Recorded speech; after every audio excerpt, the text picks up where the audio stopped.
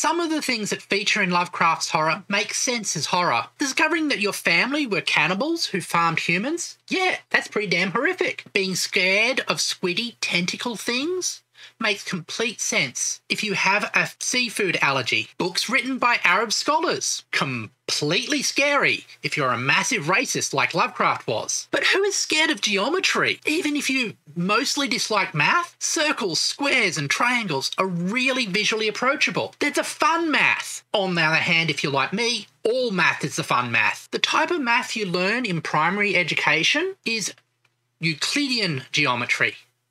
It is the geometry of flat space, of the pen and the paper. In Euclidean geometry, if you have two lines at the same angle, then they will remain at the same distance apart forever. But there are other geometries. For example, there is spherical geometry, where parallel lines eventually meet at the poles. The geometry of navigation is spherical geometry. So, how can spherical geometry be scary? We live on a globe.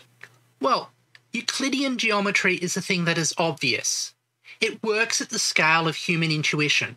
However, if you move beyond the human scale, what seemed to be Euclidean now becomes non Euclidean. To men like Lovecraft, the world is created for humans. In particular, it is created for white men like him. This idea was used to justify colonizing countries and taking over all their resources because God created the world for them. However, what if the impression that the world was created for humans was an illusion of scale? What if we start looking at the scale beyond human, the scale of non Euclidean geometries? If our intuition isn't built for the world at this scale, that perhaps the Creator didn't make the world for humans, then sailing across the ocean, treating other people like cattle, and exploiting their lands becomes no more moral than an underground city of humans bred to be slaughtered as meat. At its core,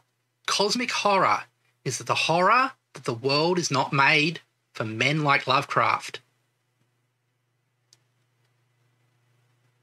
And if you enjoyed this, please subscribe for whatever next comes out of my mouth.